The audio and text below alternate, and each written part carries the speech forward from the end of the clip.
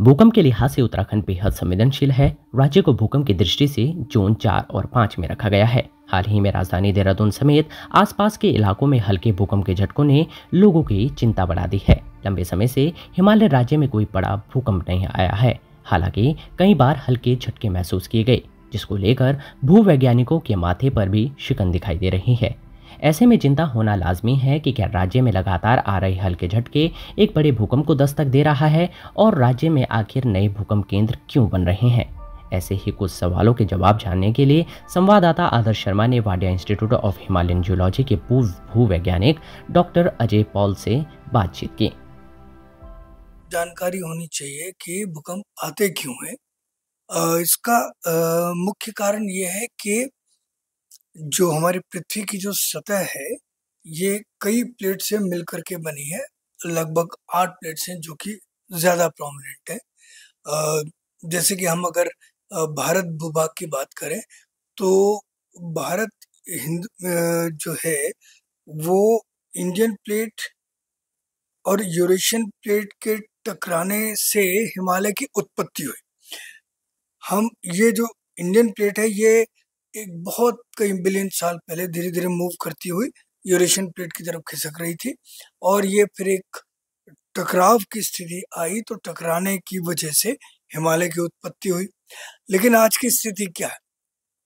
आज ये स्थिति है कि जो इंडियन प्लेट है, वो यूरेशियन प्लेट के, अगर इसको मैं इंडियन प्लेट मानूं और ये यूरेशियन प्लेट है तो इंडियन प्लेट जो है वो यूरेशियन प्लेट के नीचे धीरे धीरे खिसक रही। धीरे धीरे का मतलब जैसे कि चार पाँच सेंटीमीटर पर ईयर।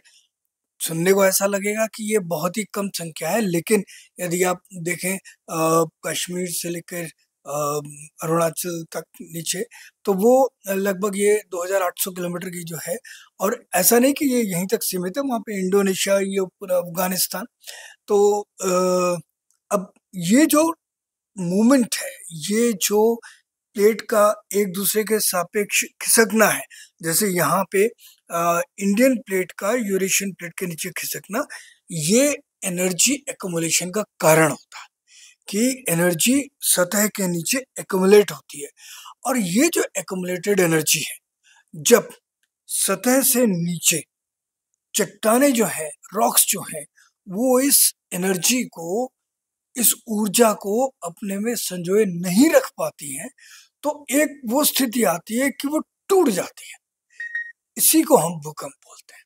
तीन मैग्नीट्यूड का, चार मैग्नीट्यूड का या दो मैग्नीट्यूड का ये भूकंप आते रहते हैं और हम ये उसको लोकेट करते हैं कि सतह के नीचे जो ब्रंच है, जो फॉल्ट्स हैं, जो थ्रस्ट हैं, उनमें कहाँ कहाँ पे ये छोटे छोटे भूकंप आ रहे हैं, किस मैग्नीट्यूड के आ रहे हैं उनकी कंसेंट्रेशन क्या है?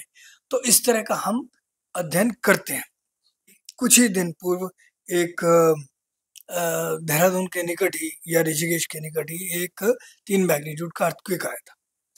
अब इस छोटे मैग्नीट्यूड के अर्थक्वेक की वजह से जान माल का नुकसान नहीं हुआ, लेकिन ये एक बहुत बड़ा इंडिकेशन है और ये एक आपको एक तरह से ये याद कराने के लिए चाहे वो पब्लिक हो या प्रशासन हो या कोई भी हो, उसको ये समझाने के लिए ये एक बड़ा अच्छा एक वो है कि आप सजग रहें, तैयार रहें कि यहाँ पर एक बड़े भूकंप की संभावना हमेशा बनी रहती।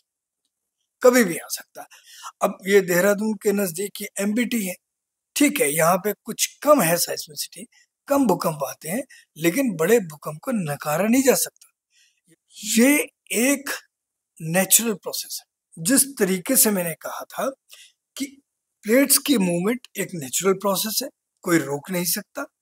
इसी तरह से ये जो ऊर्जा एकत्रित हो रही है, इसका निकलना भी एक नेचुरल प्रोसेस है। इसको रोका नहीं जा सकता। और इस बात को मैं रिपीट कर रहा हूँ कि ये एक जो छोटा सा भी भूकंप आया था ये आपको एक, जैसे एक रिमाइंडर जिसे हम कहते हैं कि आपको ये बताने के लिए कि आप तैयार हैं कि नहीं है।